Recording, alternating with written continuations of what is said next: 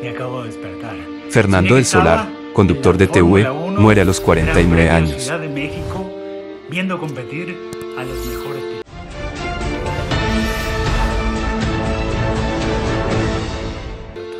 Bueno, todos podemos vivir este sueño. ¿Cómo? Es muy fácil.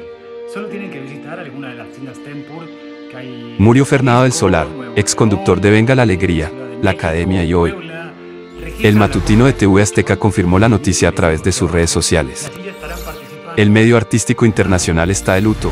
Este jueves 30 de junio trascendió el lamentable fallecimiento de Fernando del Solar, querido conductor de televisión recordado por sus memorables colaboraciones en Venga la Alegría, Hoy y la Academia. Hasta el momento se desconocen las causas del deceso, pero se sabe que el argentino de 49 años padeció cáncer de pulmón y linfoma de Hodgkin, un tipo de cáncer que se desarrolla en los glóbulos blancos del cuerpo.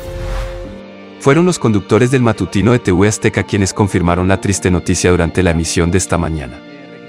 Este es de los anuncios que nunca quisiera dar una fuente muy cercana nos confirmó. Él lamentablemente ha fallecido Fernando del Solar.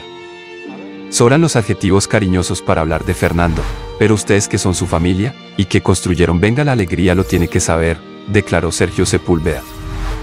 Nos parte el corazón informar el lamentable fallecimiento de nuestro querido Fernando del Solar. En ULA enviamos nuestras condolencias a todos sus familiares y amigos, escribió el matutino de TV Azteca en sus redes.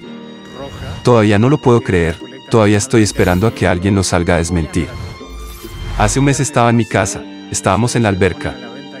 Yo lo conocí antes de que llegáramos a México. No puedo hablar, agregó Patricio Borghetti. ¿Quién fue Fernando del Solar? El presentador nació en Buenos Aires, Argentina, e inició una carrera que se desarrolló por más de dos décadas como actor, aunque cuando llegó a México lo hizo como modelo.